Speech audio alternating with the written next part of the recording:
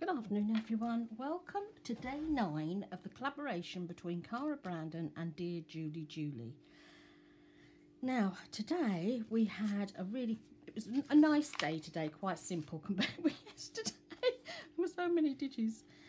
Now this one is Cara's day nine. I'm just going to make sure you're in screen. Yeah, yeah.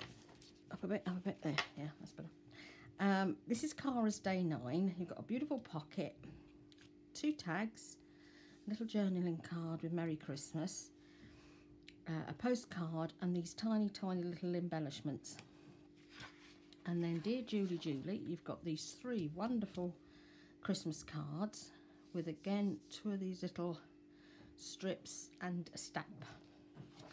So I'll show you what I've, I've done today. So this is just a piece of paper that I've sprayed with Kool-Aid.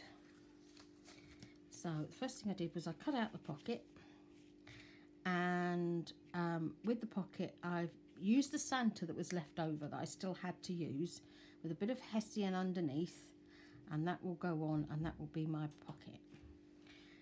Then the tag, how I did the tag was I layered up the two tags on the page and I've put under here the two tiny tiny wee elements here little elements underneath and this is the stamp at the bottom and then I've used the pine at the top there.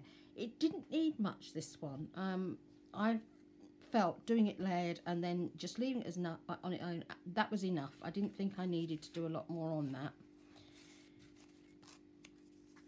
And that will go on the page like this. Now on the back I've used the bit of card that I had left over from making my next make. This one I'm going to use as um, a pocket. Uh, and I'm not sure yet whether I'm going to use it as that way or whether I'm going to pop it that way and do a side one yet. But those are the those two.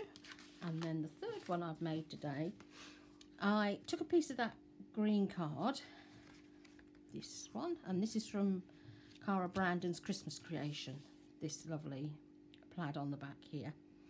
Now these little blodges are where I've sprayed some Tattered Angels on the front so that when I stuck these down you could see it through because you need to have that little gap for when you're folding up otherwise that they just hit one another and it doesn't fold properly. So I'll go back to the bed back first. So the tiny little one I've made into a pocket and this is the journaling card and again, I've used the last bits of this up as well because I thought it was important just to use the bits of scrap that we have and put the card on here. This side is not needed because it's going to be glued down like that so that when you open it in in the book it'll come out like this so that's why I've not glued that bit uh, so I've stuck the three big pictures on the front, three big cards. Oh, these are just beautiful, aren't they? I mean, look at this one. And then on the back, as I say, I've got these. And this bit, don't put anything on that unless you want it to be floating. If you want it to be floating, then by all means put a piece of um, paper on there, anything you like that you want, you can write on. But then again, you can write on that anyway. It's quite a reasonable colour that you could write over. So those are my makes for today it was quite a, an easy day today. Um, I really enjoyed this one. And there, I'm just going to put them up so you can see them properly.